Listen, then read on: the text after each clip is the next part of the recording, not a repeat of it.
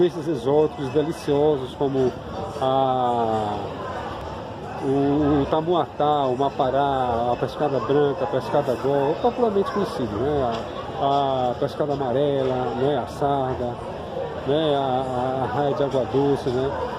O pirarucu também é uma espécie que já esteve em extinção e que habita aqui nessa, nessa houve um processo de, de preservação da espécie e ele habita aqui nessas águas. O, o boto cor-de-rosa, que é uma espécie que está em extinção também, habita aqui nessas águas, tá pessoal? E é, várias espécies de, de, de, camarões regionais, né, de água doce, deliciosos, né?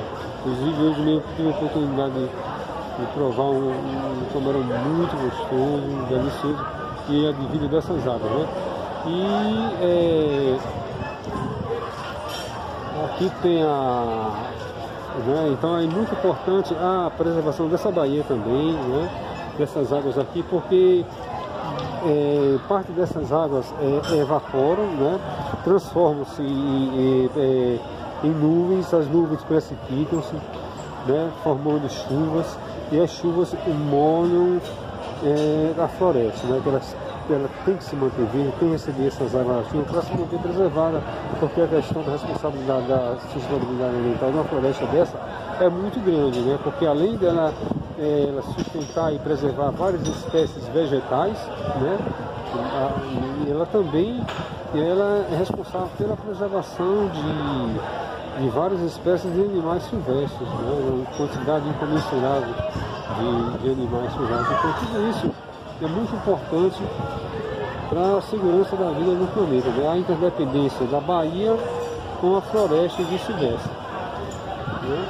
Aí a embarcação Trigo dos Carapós vai lá na frente, daqui a pouco eles vão fazer uma, um, um, retorno e passar novamente aqui pela frente aqui da, da passam novamente aqui pela frente aqui da, da do cais aqui da estação e todos vão um pouco mais na frente, vão na área do mais ou menos da, da, passam na frente do Forte Castelo, da Casa das Onze Janelas.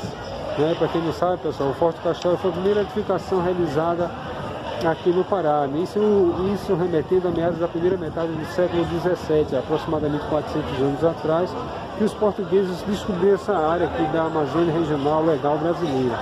E aí é, a gente, vocês podem, é, eles vão mais nessa parte aí, ó, passa por, é, por essa parte onde está vendo essa embarcação, essa aqui é uma embarcação que ela está indo agora para a Barcarena, inclusive várias pessoas é, vão né, trabalhar em Barcarena, em, em empresas como por exemplo a Obras, porque o horário é muito variado. Tem, tem, tem grupos que vão pela manhã, né? aí outros que vão à tarde, outros vão à noite, e é um trabalho assim incessante. Né? São empresas que fazem exploração mineral e utilizando também a conservação da sustentabilidade ambiental. Como um exemplo disso é a Obras. Né? Aqui a embarcação, ó, vocês estão vendo essa embarcação de pequeno porte, essa embarcação é uma embarcação de pesca e geralmente ela faz isso, ela vai, vai leva produtos daqui de Belém lá para as ilhas, né? realmente mais produtos industrializados e traz produtos como por exemplo açaí, o, é, o cupuaçu, a, o, a, o, bacuri, né?